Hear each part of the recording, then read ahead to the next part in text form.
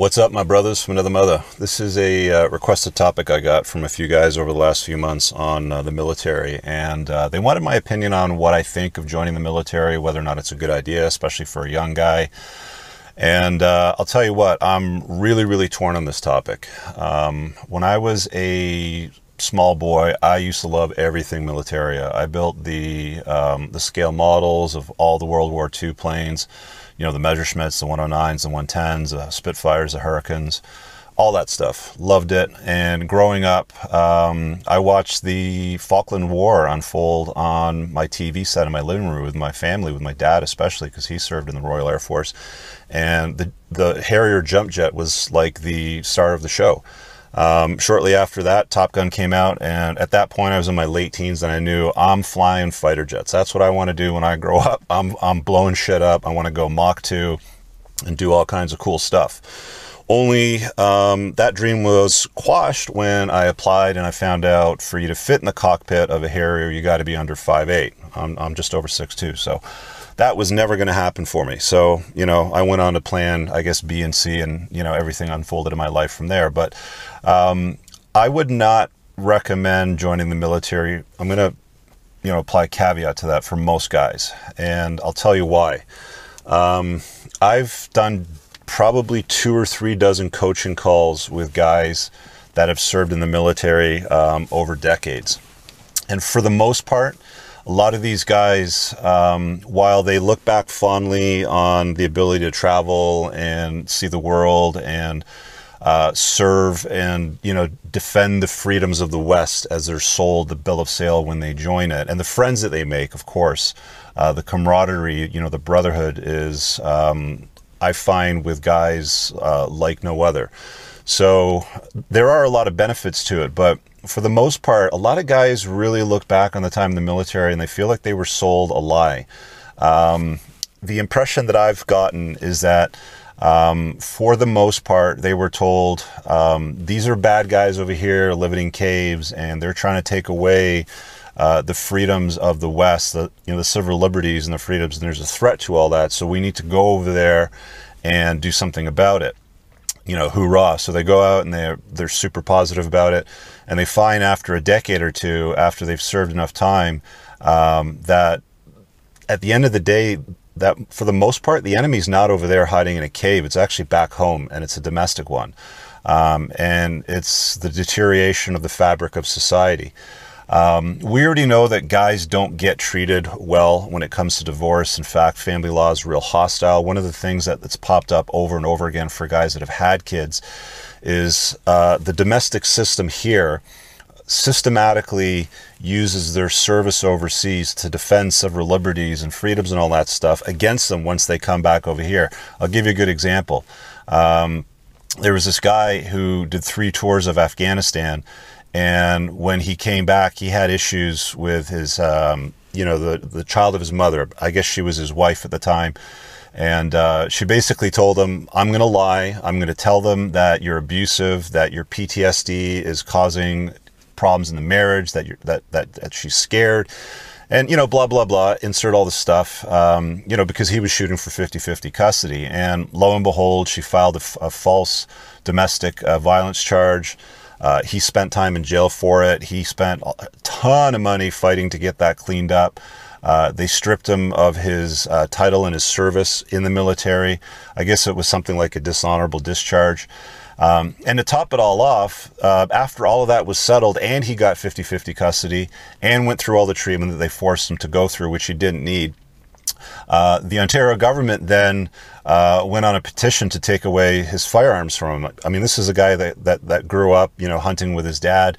Um, you know, the government then decided, well, you know, I think this guy's a threat to society because of everything that's happened. And apparently, you know, his wife claimed domestic violence and there's all these allegations, even though they're cleared up and dismissed. Then the government goes after him to take away his, you know, his hunting uh, collection after this guy serves for the country to protect it from the bad guys living in the caves.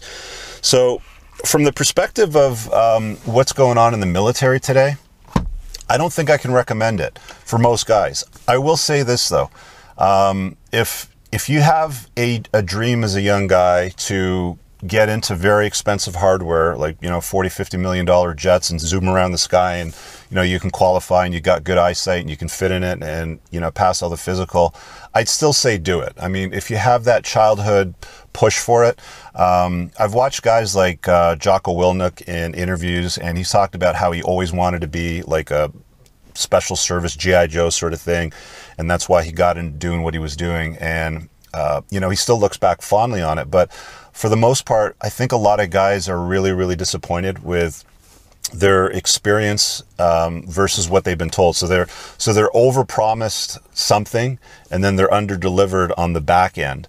Um, and while they go through it, they make great friendships. Uh, some of them last you know, a lifetime. Some of them don't at all, and they lose great friends in combat. Um, if you're going out there doing grunt work and potentially going to be used as fodder for the state, I would I would strongly recommend passing on doing anything with the military. Uh, again, you know, you got a big dream. You want to be captain of a boat, captain of a fighter command squadron. I get it. Um, I, you know, if I could go back in a time machine and I was shorter and I had uh, perfect vision, I would I would have still done it. I, I, would have been I would have done everything that I possibly could have um, to have flown those fighter jets.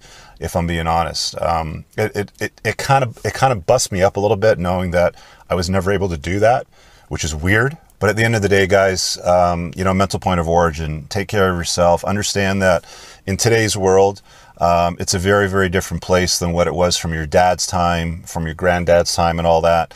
Um, one of the comments that uh, stuck with me over one of the coaching sessions was a guy that said to me, goes, you know, because um, it was close to Remembrance Day, and he said something along the lines of, you know, we pretend to care about our veterans and those that fight for the freedoms of the West um, you know, for one day of the year, but for 364 days of the year, you're talking about Veterans Day, Remembrance Day, whatever you want to call it, wherever you are in the world. But for 364 days of the year, they don't give a shit about you and they treat you like crap and you're a disposable commodity to them in their toolbox. So, you know, with that being said, I know there's a lot of guys that are like, oh, hang on a sec, Rich, if you didn't have a father growing up and you need discipline and, you know, blah, blah, blah. Okay, you know, maybe you're going to find some exceptions to this rule, but I think on a balance of probabilities, um, your time is probably far better served doing something else for yourself, mental point of origin. I've dude, talk to guys in every branch of the military Navy, Air Force, Army, doesn't matter what it is, even intelligence. And they're all saying the same thing to me. It's, it's, it's not what they thought it would be. Um, there's a lot of feminist indoctrination. A female primary social order is heavily infused into the way that the military now works. Um, I've seen a lot of guys have uh, a lot of difficulties working in uh, posts, especially if there's we, uh, women that are assigned to them. They just there's all kinds of problems with them trying to get their jobs done and conflict. And of course, um, you know, they make special rules and exceptions for it all. So I think, you know, for the most part, you should probably talk to a, to as many people as you possibly can before you make this uh, choice, uh, because it's for a lot of guys, it ends up being a career. It's not just doing a tour or doing a couple of assignments or anything like that. For a lot of guys, that ends up being a career, and they find, you know, I've done it for 25 years and I can't leave now. You know, I've got X number of years before I can retire, and you know they're doing this, that, and the other thing to me, and that sucks, and it's total bullshit. And you know, I lost custody of my kids, and I found out my wife was banging Jody when I was away, and insert all of the reasons that things go sideways. But um, I struggle with this one. I really do. You know, there's one part of me that was like, yeah, go fly those jets and blow shit up and follow your dreams and live that passion. There's another part of me that's like, wow, after talking to all of these guys, um, I just can't recommend it. So go and do your own research, fellas. I want to hear uh, comments below on this one because I think this is an, a very interesting topic. So s- smash the like button, comment below, uh, pin in the top comment if you need anything uh, to reach out to me as far as coaching. You want to request a video, join my men's community. It's all there. See you guys in the next video. Peace out.